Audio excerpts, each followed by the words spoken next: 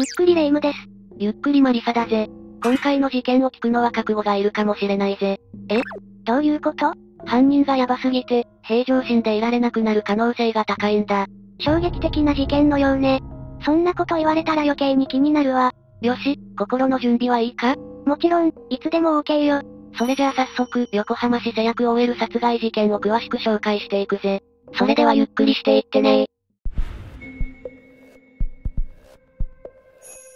この事件は2000年10月16日の22時10分頃、横浜市製薬二つ橋町の道路脇の畑で、死体が遺棄されているのを通行人が発見したことから発覚した。死体は隠してあるわけではなかったのね。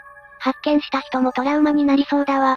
警察の調べで、死体の身元は、近くに住む当時22歳の渡辺美穂さんだと判明。渡辺美穂さんの首には、鋭利な刃物で切りつけられた跡があったことから、殺人事件とみて捜査を開始したんだ。一体何があったのかしら？犯人はすぐに捕まったの？渡辺美穂さんのものとみられるショルダーバッグが近くの路上で発見されたことから、犯人はここで渡辺美穂さんに危害を加え、殺害現場まで運んできたと断定されたが、犯人に繋がる有力な手がかりや物証などもなく、捜査は難航したんだ。街中でもなさそうだし、防犯カメラの映像や目撃情報も得られなかったのね。渡辺美穂さんは一人暮らしだったの？短大を卒業し、会社員だった渡辺美穂さんはお父さん、お母さんを悲しませられない。と言って、実家で父親、母親、妹と一緒に住んでいたようだ。事件前日の夜も家族で夕飯を食べ、楽しい時間を過ごしていたようだぜ。家族を大切に思っているのが伝わるわね。捜査は一向に進展することなく、事件から1年後には捜査員からの電話さえなくなったようだ。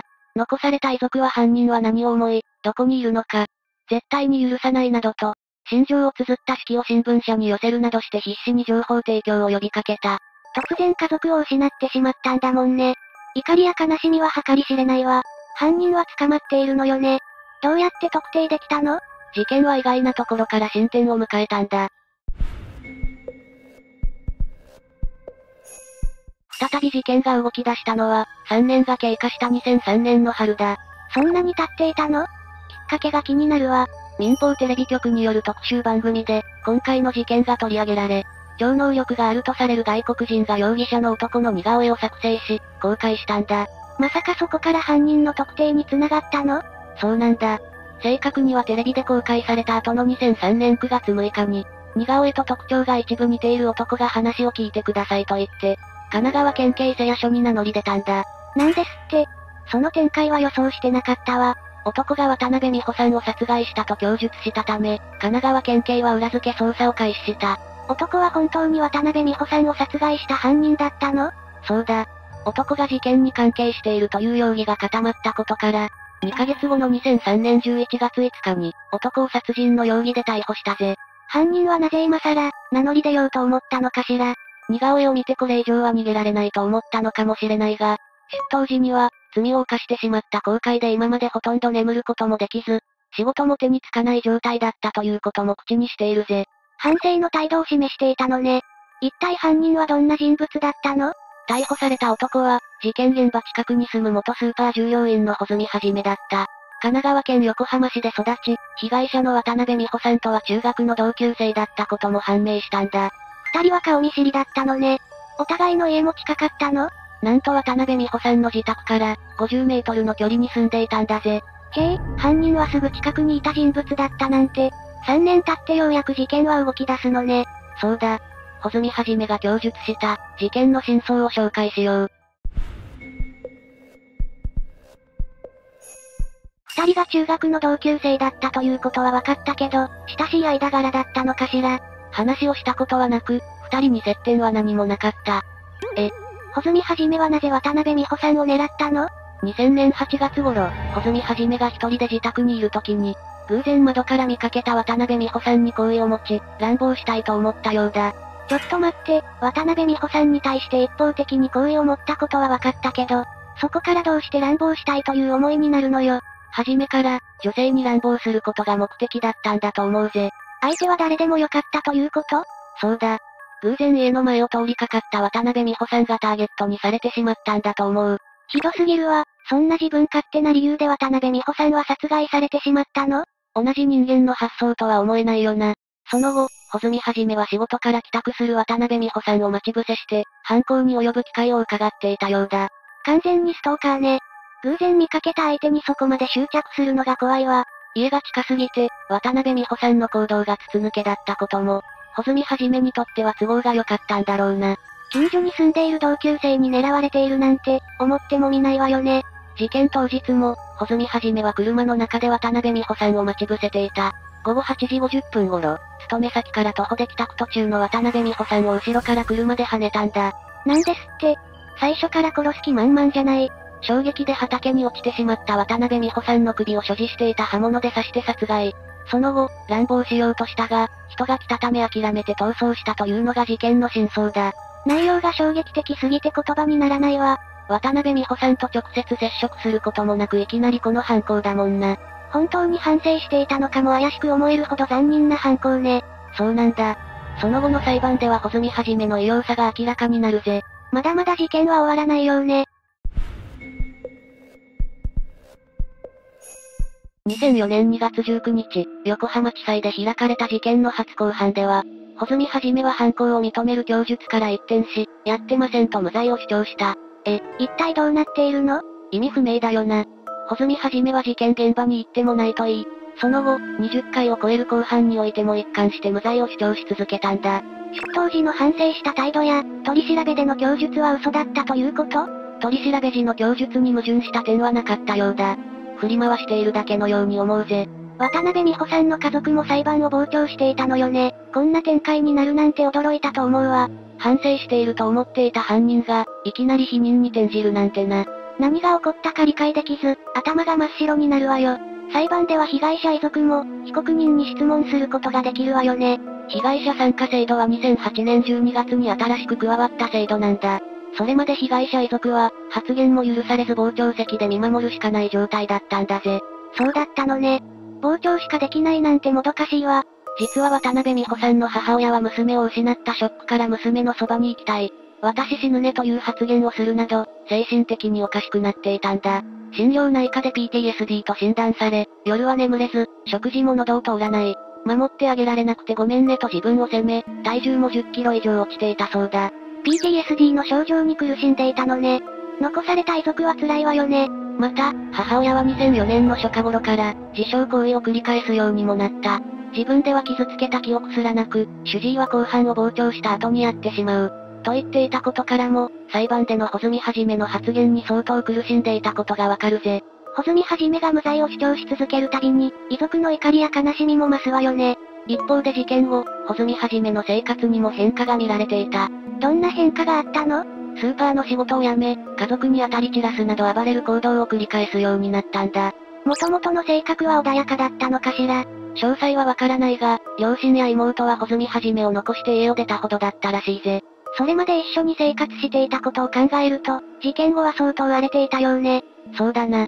両親は穂積はじめに現金を送金していたようだが、すぐに使い切り、その後警察署に名乗り出ている。出頭したのは、家族に見放され、お金もなくなってしまったからというように思えるわね。やけになってどうにでもなれという気持ちになったのかしら。それでも反省の態度から一転させる意味がわからないぜ。そうね。残忍な犯行も、決して許されることじゃないわ。2004年12月に開かれた論告求刑では、検察側が穂積はじめの無期懲役を求刑した。え、極刑じゃないの？極悪非道の所要で強制教育はおよそ不可能。極刑を考慮すべき事案としながらも、穂積はじめが若年という点がポイントになったようだ。若年と言っても立派な成人男性よ。納得いかないわ。2005年3月28日に開かれた判決公判でも、穂積はじめが自白した内容は、詳細かつ具体的で臨場感に溢れている。被害者を車で衝突させた状況など、誘導で引き出されたものとは到底考えられないとし、極刑に値すると言いつつも、若年であり前科前歴がないという理由で、休刑通りの無期懲役が言い渡されたんだ。当然、穂積はじめの主張は通らなかったのね。それでも無期懲役か。穂積はじめの極刑を望んできた遺族は、判決に納得できず法廷で泣き崩れたそうだ。穂積はじめに反省の態度もなく、娘がされたことを思ったら泣き崩れるのもわかるわ。これで閉廷かと思われた裁判はまだ続きがあるんだぜ。え？一体何があったの？判決を言い渡された後、穂積はじめは裁判長、一つ質問させてください。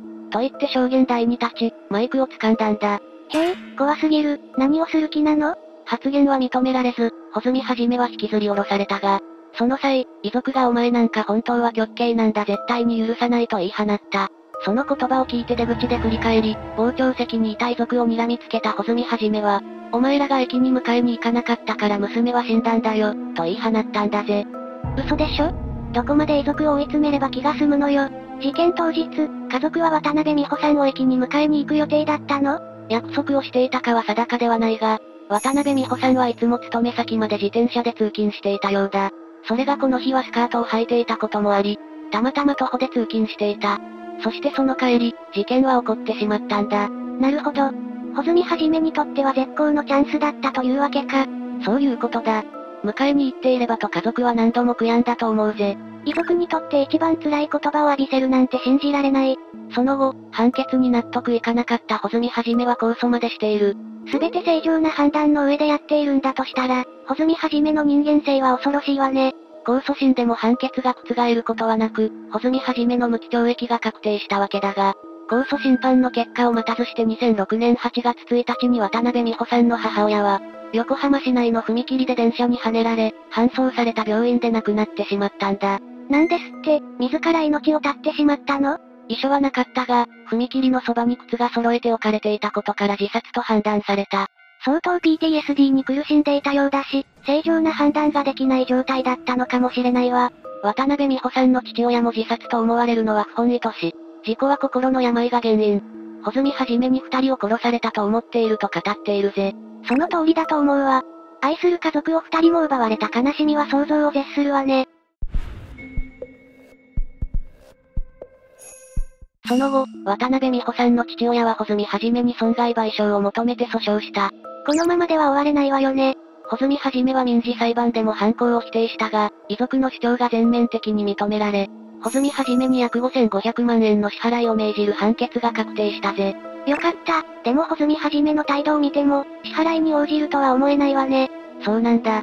穂積はじめから賠償金が支払われたことは今まで一度もない。穂積はじめから離れていった家族は何を思うのかしら。父親はふるさとの福島県にいるらしいが、息子の犯行かわからないとして、賠償金の支払い拒否はもちろん、謝罪の言葉すらないようだ。父親もそんな対応なのね。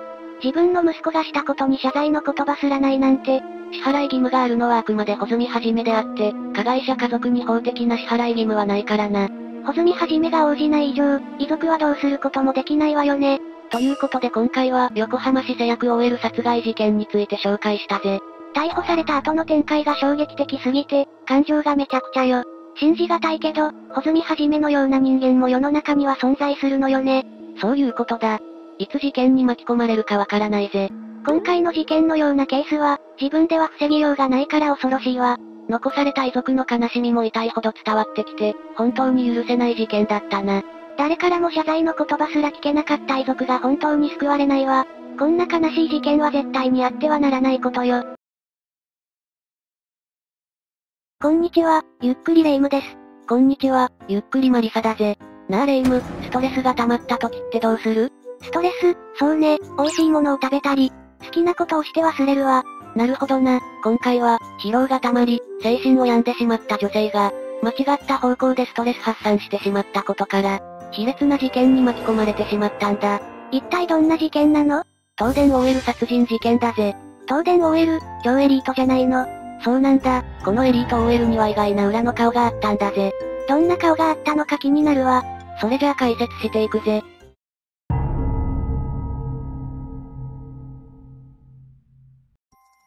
1997年の3月9日、午後5時過ぎに、東京都渋谷区の丸山町のアパートの1階の空き室で、考察された女性の遺体が発見されたんだ。女性の遺体、一体何があったのかしら死亡推定時刻は、遺体が発見される10日前の、3月8日の深夜から、9日の未明にかけてと言われているぜ。10日間も放置されていたなんて、かわいそうすぎるわ。しかも、被害者が発見されたアパートは、とても立派とは言えないような建物だったぜ。そんな場所で、たった一人で一生を終えるなんて。さらに被害者の財布からは、1万円札が抜き取られ、小銭だけが残されていた。被害者を殺害した挙句、お金まで奪うなんて、鬼畜すぎるわ。被害者は誰だったの？被害女性は、当時39歳の渡辺康子さん。とある大手企業で、OL をしていた女性だぜ。この渡辺さんの勤務先が有名企業だったことから、当時メディアは大騒ぎだったんだ。一体、どこにお勤めだったのかしら？なんと、東京電力だぜ。東京電力超大手企業じゃないの。キャリアウーマンだった渡辺さんは、どうして事件に巻き込まれてしまったのかしら？犯人は逮捕されたの？いや、犯人は未だに逮捕されていないんだ。え？じゃあ、未解決事件ってこと？そうだ、一度犯人として、ネパール人男性が逮捕されているが、後に冤罪と分かり、釈放されているぜ。被害者は、昼間は東京電力で管理職として働きながら、夜は渋谷の丸山町で、立ちんぼをするようになったんだ。立ちんぼって何なの？立ちんぼとは、娼婦が街頭に立ち、売春相手を探す行為のことだぜ。超エリート女性なのに、どうしてそんなことをしたのかしら。さあな、エリート街道を歩みながらも、28歳の頃に拒食症を患い、入院しているんだ。拒食症、責任ある仕事についていたせいで、ストレスを抱えていたのかしら。ああ、拒食症になった原因は、同期の女性社員に社内評価で敗れたためとされているぜ。出世欲の強い女性だったのね。だからといって、ストレスから売春に走る意味がわからないわ。体を打って客を取ることが、本人なりのストレス解消法だったのかもしれないな。渡辺さんは、1980年に慶応義塾大学の経済学部を卒業し、東京電力に入社したぜ。しかも当時、女性初の管理職として大きな話題となっていたんだ。当時の年収は、1000万を超えていたそうだぜ。1000万、とても有能な女性だったのね。有能で周囲からの期待も大きいせいで、精神を病んでしまったのかしら。そうかもしれないな。一度は拒食症を克服したが、当時、渡辺さんがよく通っていたコンビニ店員によると、おでんを買う時にも、こんにゃくなど、カロリーの少ない具材を選び、容器いっぱいに汁を注いで、空腹を紛らわせていたそうだ。そんな食生活をしていたらガリガリになってしまうわ。相当追い詰められていたのね。実際に渡辺さんと関係を持った男性は、骨と皮だけの状態だったと言っているぜ。ひどい。その後31歳の時に、シンクタンクの日本リサーチ総合研究所に出向。クラブホステスのバイトを経て、やがて派遣型風俗店の、マゾッコ宅急便という店で働くようになったぜ。しかし、この風俗店は SM プレイをしており、ホテルの使い方が汚くてラブホテルを出入り禁止になったこともあるそうだぜ。昼の顔と夜の顔が違いすぎて混乱してしまうわね。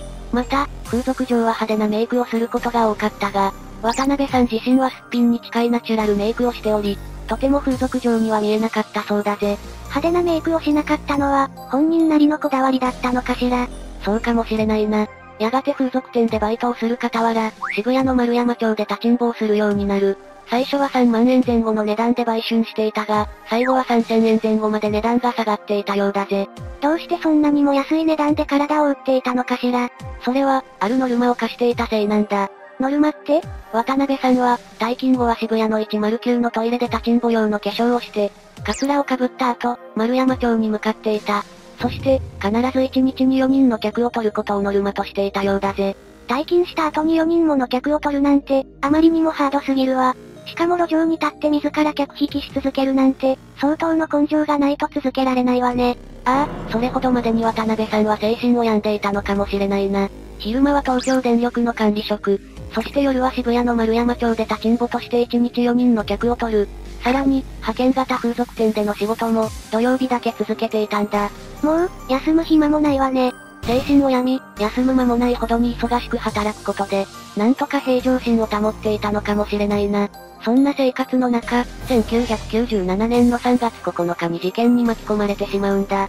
事件の犯人は未だ捕まっていないが、犯人は最後に渡辺さんと性交渉したとされる。外国人風の客ではないかと言われているぜ。外国人風の客？犯人は外国人なの？それはわからない、事件当日の流れだが、昼間は派遣型風俗店に出勤していたが、客が一人もつかなかったんだ。なんだか虚しくなるわね。そして派遣型風俗店を退店後は、立ちんぼうしに渋谷に向かっている。その後、18時40分頃に初老の男性と渋谷駅前で待ち合わせをし、ラブホテルに入ったことがわかっているんだ。この初老の男性は犯人ではないの？ああ、この男性と別れた後、22時20分頃から、今度は道玄坂に戻り、道行く男性に声をかけている。そして23時頃には、黒いジャンパーを着た男性と丸山町へ歩いていくところを目撃されているぜ。その後、23時45分頃に、事件の現場となったアパート記述層前で、外国人風の男性と一緒にいるところを目撃されたんだ。外国人風の男性、なんだか怪しいわ。この目撃情報を最後に、渡辺さんは行方不明になったぜ。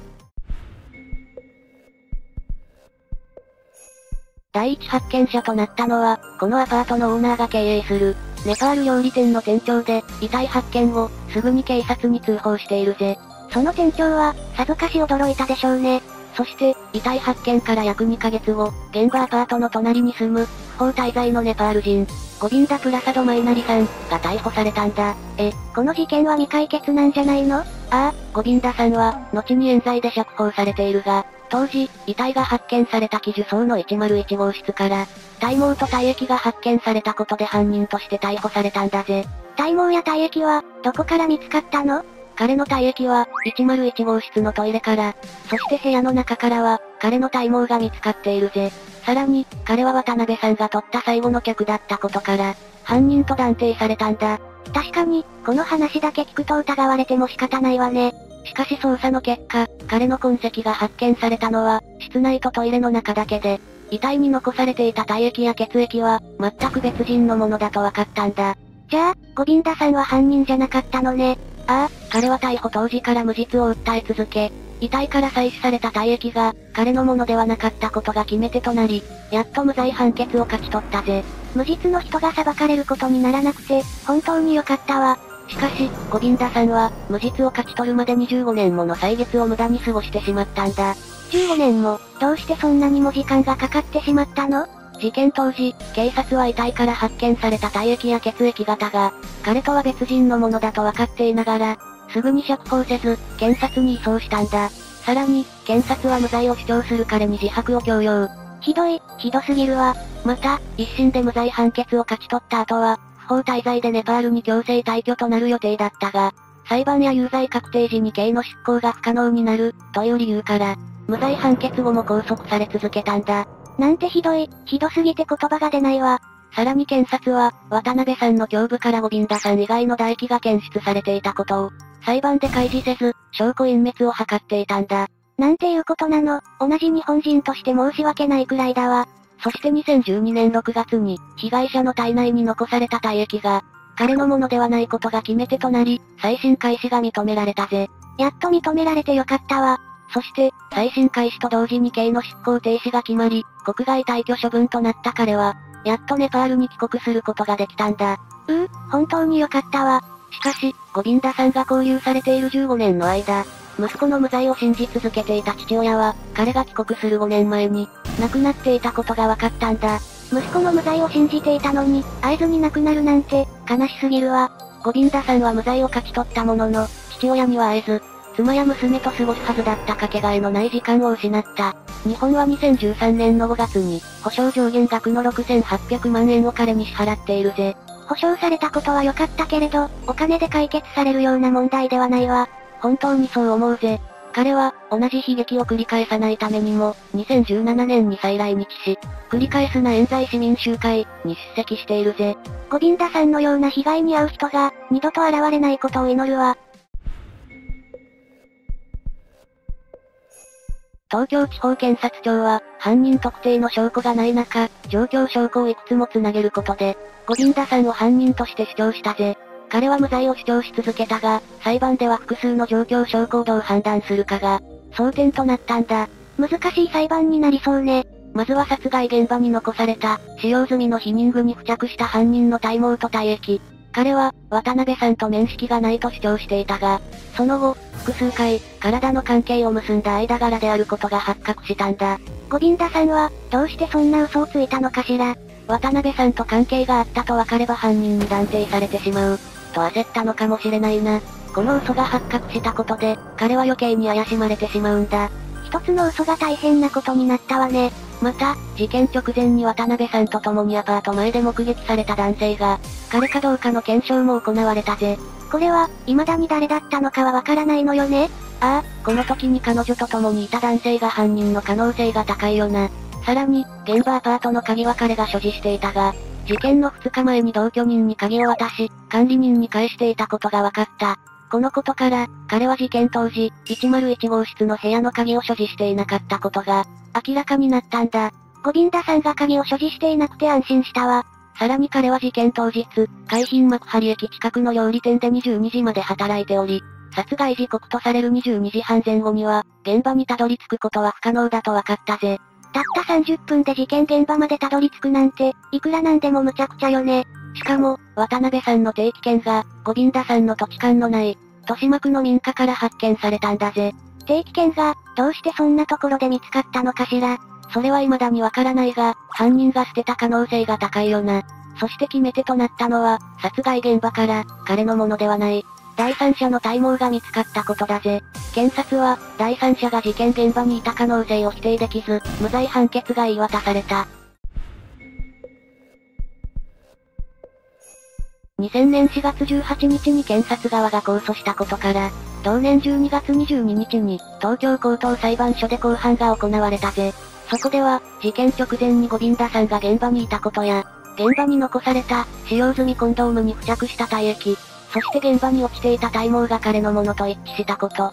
さらに、事件直後に彼が知人に金を工面していたことなど、いくつかの状況証拠を理由に無期懲役を言い渡したんだ。無期懲役、せっかく一審では無罪判決を勝ち取っていたのに、あんまりだわ。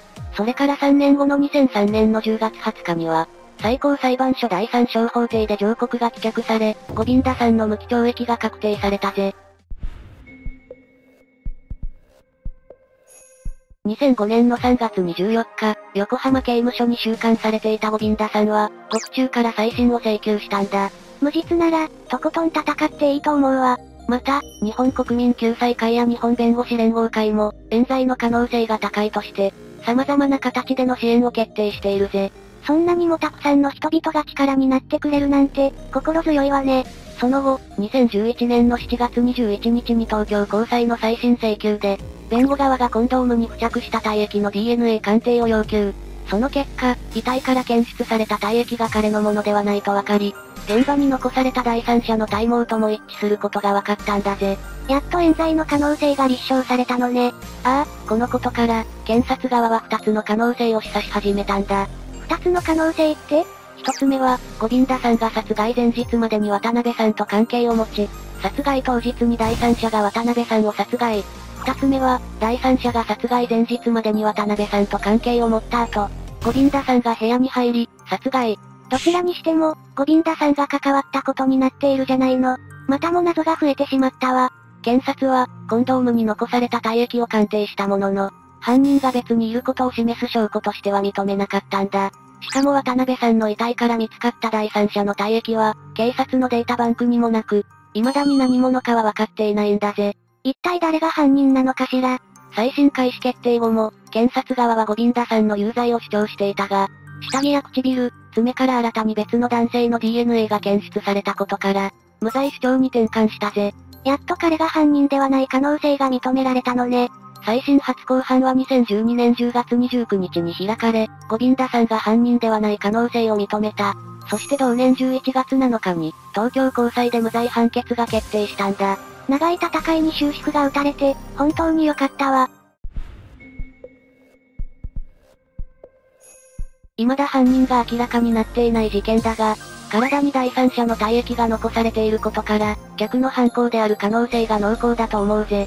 渡辺さんの爪からは犯人の DNA も残されており、性交渉中に何らかの争いに発展した可能性が高い。金銭のやり取りで揉めたのかしら？ああ、渡辺さんの財布から1万円が抜き取られていることからも、その可能性が高いな。体の関係を結んだ挙句、渡辺さんを殺害してお金まで奪うなんて、許せないわ。しかも、ゴビンダさんやその家族の人生を台無しにした罪も重いわね。ああ、警察が証拠隠滅をせず、事件発生当初から彼以外の犯人がいる可能性を考えていれば、少なくとも未解決事件になることは防げたかもしれないな。そうね、警察が真摯に対応していれば、ゴビンダさんが悲しく孤独な15年を過ごすこともなかったかと思うと、悔しいわね。何よりも、被害に遭われた被害者の方のご冥福をお祈りします。こんな事件が二度と起きないことを願うわ。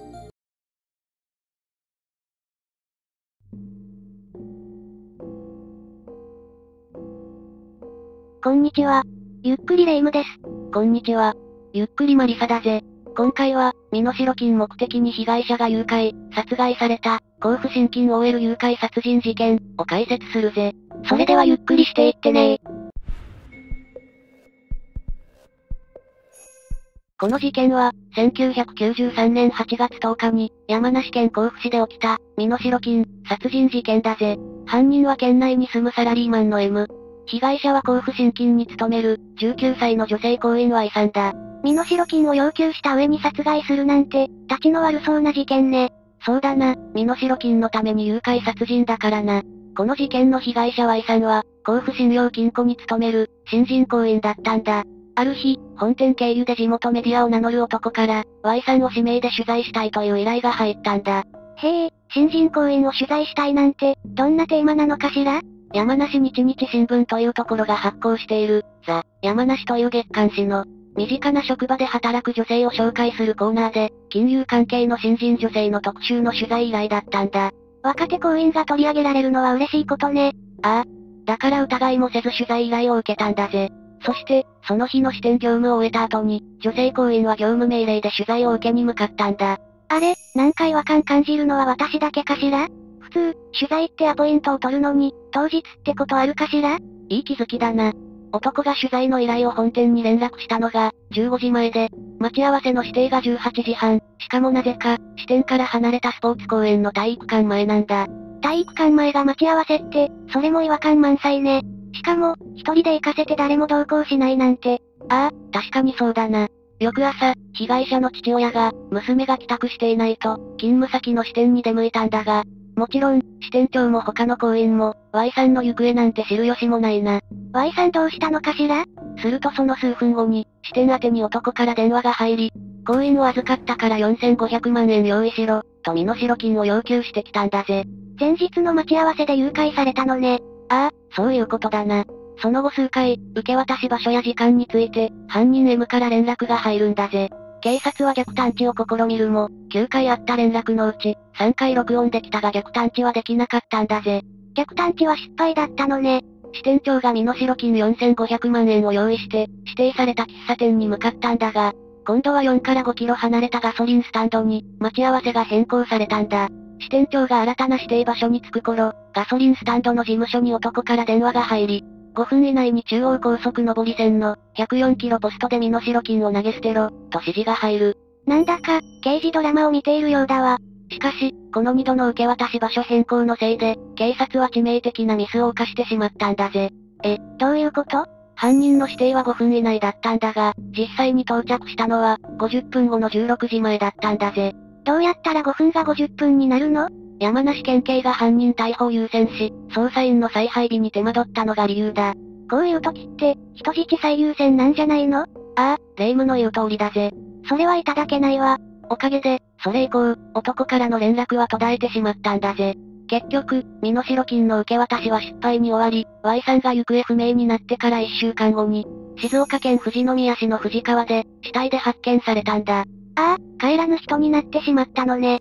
死体の首には、粘着テープが何重にも巻かれていて、下着1枚だけしか羽織っていなかったそうだ。後の捜査で、Y さんは誘拐後、同日中に殺害され、笛吹川に遺棄されたことがわかっているぜ。何もしてないのに命を奪われるなんて。ああ、まったくだな。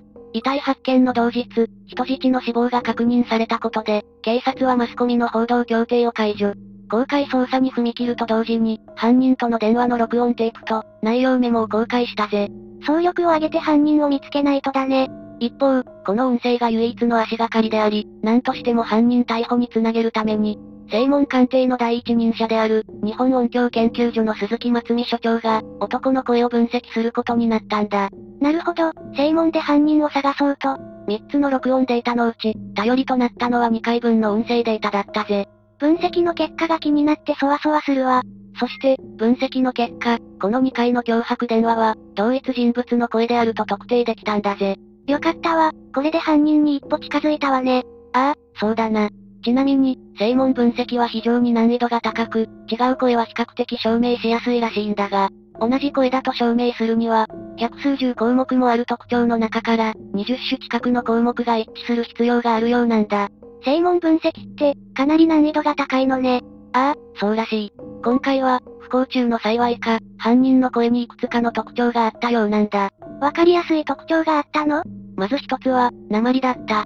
言い回しの特徴から、公衆弁だと判明。なるほど。それから、ラ行の、R のろれつが回らず、波行の、H の発音が弱いこと。この二つの特徴から、公開された音声メモの書き起こしが間違っていたことが分かったんだ。そうなのね。立体が、一体、南が、左、ということが後から分かったぜ。それ以外にも、正門からプロファイリングできたことがいくつかあるんだぜ。へえ、それは有力な手がかりになりそうね。ああ。一つ目は、声の周波数だ。身長が高いと周波数は低くなり、低いと高くなる。男の声は 130Hz で、15万人のサンプル分析から割り出して、170センチ前後と割り出したんだが、実際犯人は172センチでドンピシャだったぜ。それはすごいわね。次は、声帯の老化により発声が不安定になるから、声で大体の年齢がわかるらしいんだ。分析結果は40から50代半ばだったが、犯人は38歳だったから少し外れたな。まあ、仕方ないわね。もう一つ分かったことは、応対の速さだぜ。応対の速さ？ああ、相手の反応に合わせて、恫喝してひるませ、ひるんだところで優しく接するという使い分けだ。恐喝犯は共通してうまい傾向にあるらしいが、特にこの男はこの応対が早かったんだぜ。そんなこともわかるのね。また、会話のやりとりから、普段から仕事でも方言を使っているという仮説や、身代金の準備の指示のやりとりで、札束の帯風を無事で指示してきたことから、普段から大きな額を扱う仕事をしていると、推測されたんだぜ。正門だけでなく、やりとりのスキルや話の内容から、仕事までプロファイルできるのね。ああ。逮捕後にこの男は、県内の大型トラックメーカーの営業職と分かったぜ。なるほど、プロファイルはほぼ近かったのね。それ以外にも、新たな手がかりが分かっているぜ。何かしら？電話の声は、電話機を通じて聞こえるだろ？ええ。だから、どこから電話をかけてきたかがわかるんだ。逆探知ってやつね。市外回線の場合は、電話局の回線を通るときに、電気的なフィルターで特定の周波数がカットされる。だが、録音データはそれがなかったため、市内からの電話だったことが分かったんだ。さらに、録音された2回の電話は、それぞれ違う場所からだったことも分かっているぜ。へえ、すごいわね。これらの分析から、身代金の受け渡し場所や男の行動範囲をもとに、場所を絞り込むと、境川パーキングエリアが浮上してきたんだ。ここは高速道路の外からも出入りできる上、現金の受け渡しの指示があった、104キロポストまでわずか30秒という場所だったんだ。そんなことまで見えてくるのね。そしてパーキングエリア内の公衆電話を調べたら、録音データに近いノイズの電話機があったんだ。その電話機から恐喝電話をかけていたってことね。これらのプロファイリングをもとに、犯人像がテレビやメディアで連日放送されたせいか、被害者の遺体が発見された1週間後に、犯人 M が、逃げ切れないと思い実施してきたんだぜ。逃げ切れないと思ったのね。被害が拡大する前に実施してくれて助かったわ。ここで、犯人がどんな人物なのか見ていこう。ええ頼むわ。犯人 M は、山梨県内で生まれ、農林高校を卒業後、県内のガソリンスタンドに就職。その後、犯行当時勤めていた大型トラックメーカーで営業係長を務めていたぜ。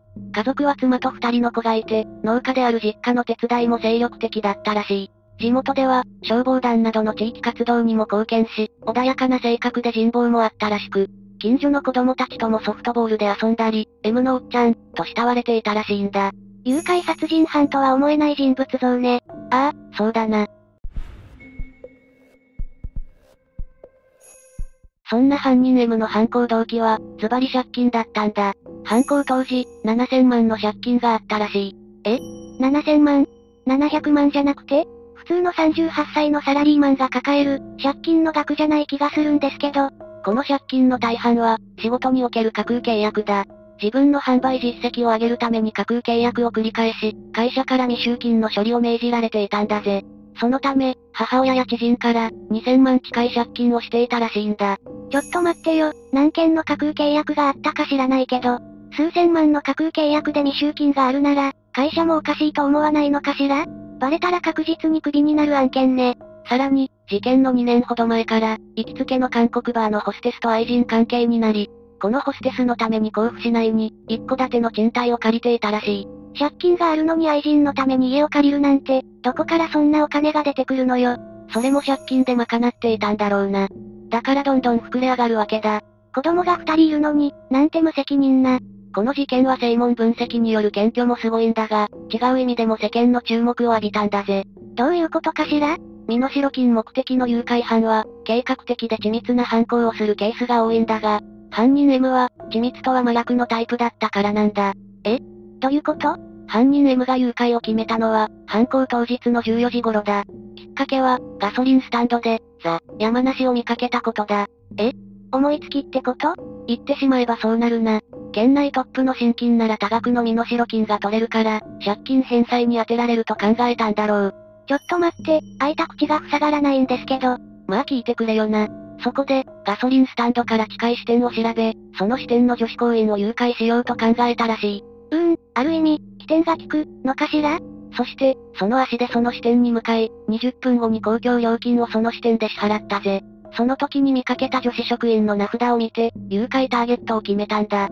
この30分後に、本店に記者を装って、さっきの支店の女性行員を指名して取材依頼し、支店に電話、夕方18時半に被害者 Y さんと合流、という流れだぜ。思いつきから4時間半で誘拐成立させるのは、ある意味行動力があると言えるのかしら。なお、殺害の経緯は明らかではないんだが、合流して自分の車に乗せた後、連れ回すのを不審に思った Y さんが騒いだので、静かにしろと脅すも、数度も大声を上げたため首を絞めて殺し、20時頃に笛吹川の土手から、遺体を川に遺棄したと供述しているんだ。殺害理由も突発的で、身代金受け取り前、なんかしっくりこないんだけど。ちなみに、借金が7000万あるのに、身代金の要求額が4500万だった理由は、単純に、過去に借金額を整理していた時に、メモして記憶していた金額が口をついて出たらしい。なんか尻滅裂な感じがするわ。録音の音声データがメディア公開された直後、犯人 M は友人から100万を借りて、愛人のいる韓国に逃げていたらしいんだが、この友人はテレビで声の主が M であると気づき、自首を促したらしいんだぜ。罪を重ねることなく実施してくれてよかったわ。本当にその通りだな。何はともあれ、被害が最小限で済んだことは不幸中の幸いね。ああ。被害者 Y さんは帰らぬ人となったが、最小限の被害で済んだことは良かったかもな。犯人 M の逮捕後、裁判は1年半ほど行われたぜ。第一審で起訴された M は、犯行を素直に認めたので、裁判では、自首の有効性が争点になったんだぜ。自首の有効性って何？自首とは、犯人が特定される前に、犯人自らが申し出ることを言うんだ。自首すれば、刑法42条に基づき、減刑される可能性があるんだぜ。逆に、犯人特定後、逮捕前に犯人自ら警察に出向くことを、出頭といい、自首ではないので減刑対象にはならないんだぜ。今回は特定前に実施したから、自首が認められれば刑が軽くなるかもしれないのね。そういうことだ。裁判では、犯人 M の弁護人は、M の自首が有効だと主張したのに対し、被害者側の検察は、M の自首前に、警察の捜査で、車のナンバーによって、犯人が M であると特定されていたため、自首は無効であると主張したんだぜ。なるほどね。甲府地裁はこれをもとに自首は無効とし、1995年3月に、無期懲役の判断を下したんだが、死刑を求める検察と、自首の有効を主張する弁護側双方が、東京高裁に控訴したんだ。だが、東京高裁は双方の控訴を棄却、1996年に無期懲役を言い渡したぜ。どちらも棄却されたのね。ああ、東京高裁は、犯行の凶悪性から、有期懲役を求める M 側弁護人の主張を退けた一方、検察が求める死刑適用は、殺害された被害者の数が重要な要素で、被害者が一人の事件では、死刑適用が控えめになる傾向があると指摘。極刑判断には、犯行動機の検討が必要と判示したぜ。なるほどなるほど。M の犯行動機となった借金は、遊びなどの自己欲求のものではなかったことから、一審判決は、軽すぎるとも重すぎるとも言えないと結論付けたぜ。そういうことなのね。この判決に対し、弁護側も検察側も控訴せずに、犯人 M の刑が、無期懲役で確定したんだ。これが1996年4月、事件から約3年後のことだぜ。この事件は、まだ未成年の前とある若い女性が被害者となった、悲しい事件だったわね。被害者が一人で、身代金も発生しないという、最小限の被害で済んだことは、不幸中の幸いだけど、Y さんが帰らぬ人となったことに変わりはないわ。Y さんのご冥福と、ご遺族の皆様には心からお悔やみ申し上げます。私もご冥福を心よりお祈り申し上げます。ということで、今回の動画はここまでよ。これからも裁判の解説動画を投稿していくから、チャンネル登録と高評価をしてもらえると嬉しいぜ。最後まで、ご視聴ありがとうございました。